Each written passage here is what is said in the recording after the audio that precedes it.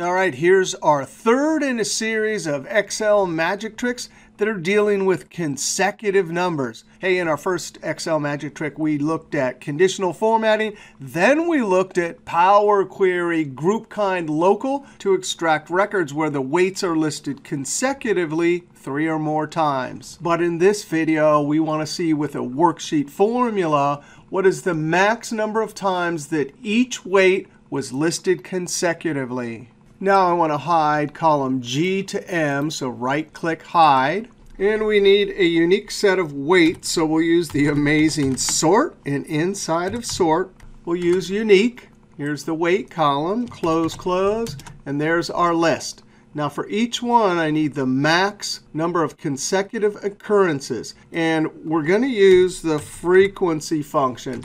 And actually, I learned this amazing trick 12 years ago at the Mr. Excel message board from Colin Legg. Now, data, we need some data. And then somehow we need bins that will count the consecutive items.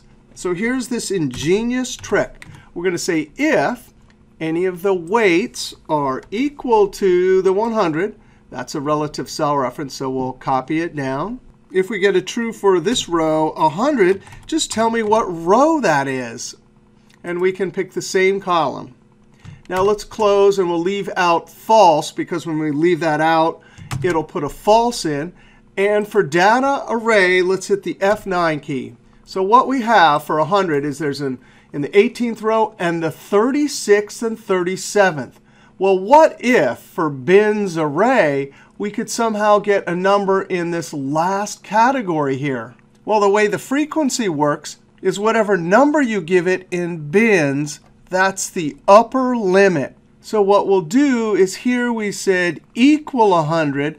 The next argument in bins we'll use if with not equal to 100. And then where all the falses are, those will be numbers there'll be a number right there, which will count as an upper limit, the 18. And there'll be a number right there to count both of those. So for 100, there'll just be 1 and 2. So the max will be 2. Control Z. And guess what? All I have to do is copy this from data array, comma, bins array, Control V. And instead of equals, I say not equal. Less than, greater than, and now if I click bins array and F9, sure enough, there's a bunch of numbers, but only that 19 will get a count of 1 there, and the 38 will get a count of 2. All the other ones will be 0. Control Z.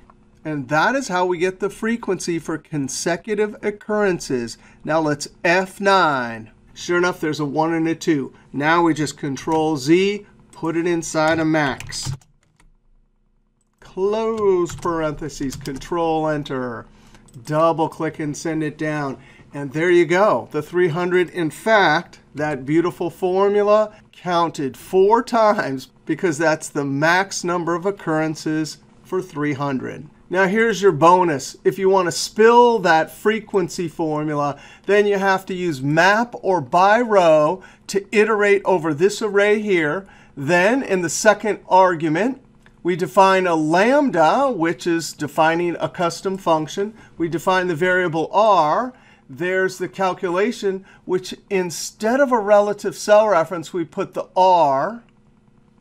And bam, that will spill the results.